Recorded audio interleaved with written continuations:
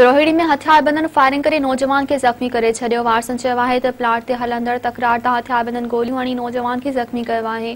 New York colony भरसा साखाणी गोड पासी शाहिद हुसैन शाह वल्द रसूल बख़्श शाह मथां कार सवार हथियारबंदन फायरिंग कई है जैसे नतीजे में गोली लगन सबब सख्त ज़ख़्मी थी पो